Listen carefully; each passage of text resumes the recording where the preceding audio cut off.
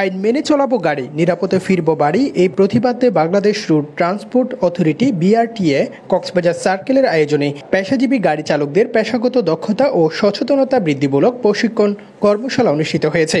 সোমবার সকালে অরুণোদয় স্কুলের হল রুমে অনুষ্ঠিত প্রশিক্ষণ কর্মশালায় গাড়ি চালকদের যাত্রী সাধারণের প্রতি ব্যবহার, সড়ক দুর্ঘটনার কারণ ও প্রতিকার, ট্রাফিক সাইন ও রুট মার্কিং সম্পর্কে ধারণা, ড্রাইভিং লাইসেন্স গাড়ির ফিটনেস ইস্যু, পরিবেশ সংরক্ষণে গাড়ি চালকদের ভূমিকা সহ বিভিন্ন বিষয়ে আলোচনা এবং চালকদের রক্ত, চক্ষু, রক্তচাপ পরীক্ষা করা হয়। এ সময় বিআরটিএ, কক্সবাজার সার্কেল সহকারী পরিচালক ওথাইনু চৌধুরী বলেন, প্রশিক্ষণের মধ্য দিয়ে গাড়ি চালকেরা রাস্তায় গাড়ি চালাতে গিয়ে প্রয়োজনীয় পদক্ষেপ গ্রহণ করতে পারবে। তাদের কি করতে হবে, কি করা যাবে না মানে কোনটা বর্জনীয় মানে এই সমস্ত বিষয়গুলো আমরা সেখানে তুলে ধরেছি।